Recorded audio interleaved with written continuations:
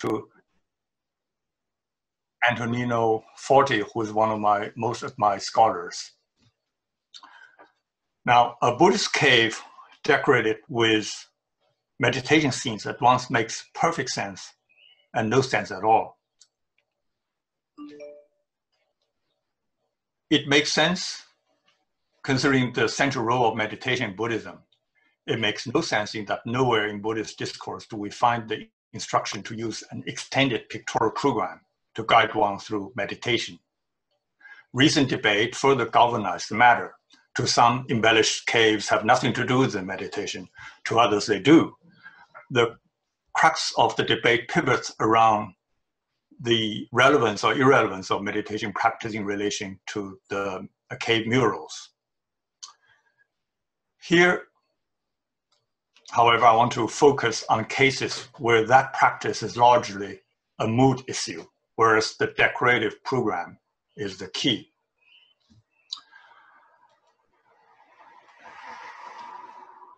The meditation caves on Mount Vulture Peak um, serve as a good starting point. Faxian visited there and notes hundreds of cliffside caves on rocks where Buddha and his disciples once sat in meditation. A rock cavern in particular caught Faxian's attention. Quote, this is where Ananda was sitting in meditation when the Deva Mara, having assumed the form of large vulture, took his place in front of the cavern and frightened the disciple. Then Buddha, by his mysterious supernatural power, made a cleft in the rock, introduced his hand and stroked Ananda's shoulder so that his fear immediately passed away. Faxian's report is materialized in Yungang Cave 38, ostensibly a meditation cave, but not so fast. Excavated high on the cliff, the cave is hardly accessible less than six feet in height inside. The cell would make a tough occupancy. One might say that this seclusion and inaccessibility is precisely the point, a perfect retreat from the madding crowd where one could meditate undisturbed beyond dealing with that vulture, a pain in the neck. Fair enough, but what about the relief sculpture inside the cave? What is it for? The program is a composite of a host of vignettes. Each of them can be aligned with some textual sources, but the composite whole has no textual source. What is the script that brings the disparate parts together? How do these parts add up? Take, for example, the set of six sculpture vignettes on the south wall. Except the vulture scene, all are pages taken from the playbook of Buddha's life yet their arrangement is odd. If we treat the entire wall as a linear narrative, we would not know where to begin. But let's give it a try anyway. The scenes do not fit into the linear order of Buddha's biography. Nevertheless, we can detect a suggestive pattern emerging from the arrangement. The pattern derives from some deliberate alignment of thematically related vignettes. Both the top scenes uh, pertain to routing either Mara or the unruly dragon in the fiery grotto. Both the bottom scenes um, about meditation. The bottom right scene pertains to Bodhisattva Shakyamuni contemplating his eminent birth in the human world as a royal prince.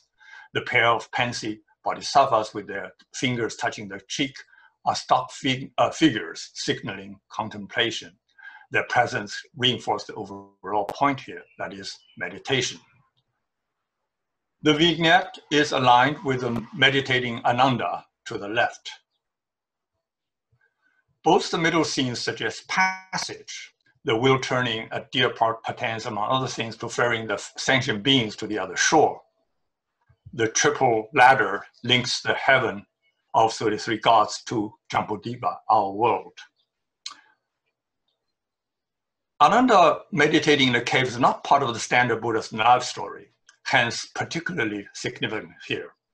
It stages the psychodrama of anxiety and its overcoming. The, the fright attending occupancy of a dark cave is assuaged through Shakyamuni's gesture of reassurance and comfort. The fire grotto in the cave is not part of the, oh, uh, the fire grotto at the top and encounter with the poisonous dragon is just as nerve-wracking.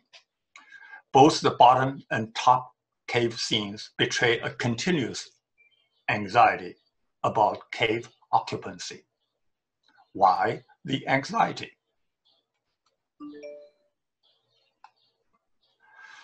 The middle scene offers clues.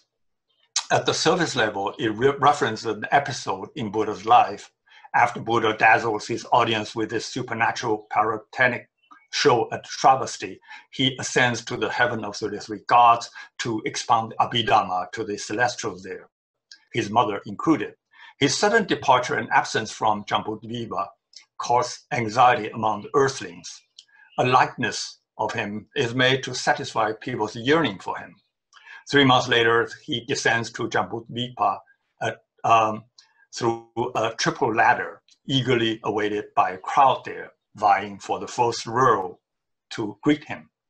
Among them is a nun named Utpalavana.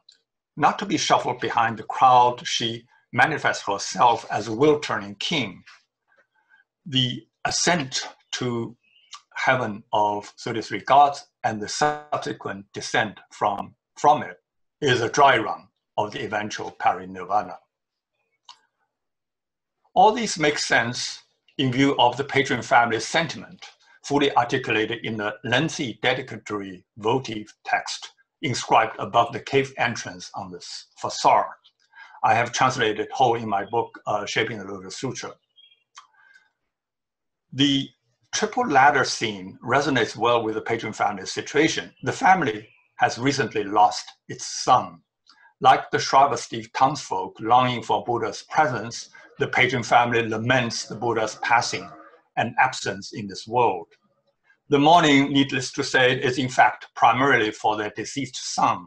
The Buddha's absence, and by extension, the patron family's son's death, prompts image making much like the Shravasti people creating a five foot tall likeness of the Buddha during his absence from the Jambudvipa. The patron families here prays for their son to ascend to the Pure Land. Accordingly, the triple ladder is conveniently, conveniently pressed into service there for the ascent to heaven. There's more to the triple ladder here. By Faxian's account, the ladder reaches to the yellow spring, Huangquan, underworld in Chinese imagination. The question then is how do these three vertically aligned scenes add up? The key con concept behind them is the ascent to heaven, but in a Buddhist manner. According to Buddhist meditation scheme, the subject would progress through four meditative heavens in the realm of form in an out-of-body experience to reach the realm of the formless. Hence, the flight uh, to heaven sequence starts with the meditation in the cave, followed up by the triple ladder to heaven, and capped with the fiery grotto scene at the top. But why the fire at the top? In the Buddha's biography, the Buddha enters the grotto to best the unruly dragon through a crossfire. That is, of course, the fictional spin Symbolically, the fiery grotto visualized the fourth meditative state known as the fire concentration, 火定, or flame samadhi, 火光三昧, resulting in bodily extinction. The practitioner attains the bodiless, ethereal, and celestial state of manifested body, not unlike immaculate conception known as, quote, attainment of the supreme way in the womb by way of formlessness, 与无形法基于台中成无上道. Thus, from the bottom to top, the three-stage sequence enacts a symbolic death and rebirth narrative. it starts with the postmortem spirit entering the cave, the Yellow Spring. It ends with the spirit's bodily extinction and the bodiless reconception in the celestial womb. This journey is an emotional roller coaster, starting with comforting the young spirit fearful of the unknown netherworld, and seeing him off at the triple ladder in the ascent to heaven. What happens here is part of a larger sculptural narrative that uh, fully maps out this death to rebirth scenario. For those interested in, you might want to read my uh, the chapter one of my book, Shaping the Lotus Sutra, uh, to see how the entire postmortem flight to heaven scenario is played out in the rest of the cave. So back to the question, why decorate Buddhist caves shrine with the meditation schemes? We now dive into- Eugene, let me, Eugene? Yes? Let me uh, mention that there are five minutes left. I don't know if you can see the clock in the top right, but there, Yes. there are less than five minutes left. Yeah, I, I think I'm, I should be fine. Okay, So, um, so now we dive into, well, we, we, we are actually diving into the cave uh, to find out the answer. And essentially there are two issues. One is meditation, another is death. So what do they have in common? Bodily extinction. In meditation, the subject progresses through four meditative heavens of the realm of form to reach the formless realm Likewise, death is about the loss of body, most palpable in cremation. Thus, bodily extinction makes it possible for medieval Chinese lay community to apply the meditation script to the care of the dead. The fire samadhi, a meditative practice, can thus be easily transposed to the mortuary context to put a more exalted spin on the brute fact of death. Once the bodiless state is achieved, it can be readily imagined as the attainment of xian or transcendence, or in Chinese translation of Buddhist Sutra, quote, the formless conception the womb, the attainment of the supreme way. In a way, Buddhist cave shrines continue the traditional pre-Buddhist um, memorial shrine. A shrine is typically paired with the tomb. The dai corresponds to the twofold structure of postmortem existence the airborne Hun spirit and the earthbound Po spirit. Accordingly, the shrine anchors the untethered Hun spirit and the tomb houses the inert Po spirit. Small in size, these early memorial shrines nevertheless feature elaborate iconographic programs. Like our caves here, the sculptural program inside the shrine serves as a roadmap for the postmortem spirit's flight to heaven. The size of the shrine here provides a good object lesson. It encompasses an antechamber and a recessed inner sanctuary, two and a half feet wide and less than two feet tall. The minuscule size belies the cosmic reach of the sculptural program inside it. Whatever human activities performed in the shrine does not alter the logic of the sculptural program. What matters is that the unknown world of the dead is hereby streamlined, ordered, and made predictable. This gives comfort to the patron family. The same holds true for our cave here. The deliberate sculptural program models the unfathomable postmortem universe into a navigable space. The postmortem spirit is expected to follow the prescribed roadmap. Assigned to ascend to heaven is thus a default route. The votive inscribed over the cave entrance is loud and clear. May the Wu family son ascend to the Pure Land. Ascended thus, as seen in the ceiling relief, the spirit rides and quadruped, which disgorges an avatar of the rider into the inner ring of the blossoming flower. There, an inverted image of the entering figure emerges from the heart of the flower, holding the right foot of the rider. Cycles of life, body extinction, and ethereal reconception thus continue. The floral setting is the crux here. Buddhist literature envisions the reborn spirit typically in a lotus pond. It rarely, to my knowledge, ventures inside the flower's receptacle to visualize the conception scenario there. The Taoist meditation literature, in comparison, does get to that level of visualization. The floral matrix is conceived as the purple chamber, a physio-alchemical incubator where ethereal forms of life are generated.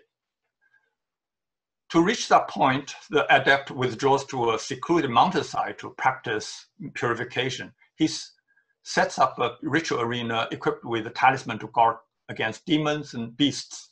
In the center of the place, he builds a chamber of the elixir. Once all the spatial temporal coordinates are set up, he kindles the fire, there goes the fire again, and meditates on the scenario in which he may fly as immortal, have audience at the Purple Palace. All this happen as meditative acts.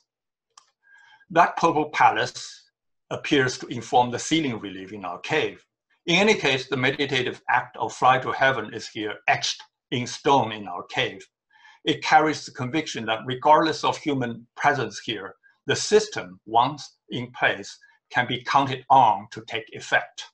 In our present-day parlance, we would call it automation by way of algorithm. Here is an early intimation of computational art before our age of computation. Thank you.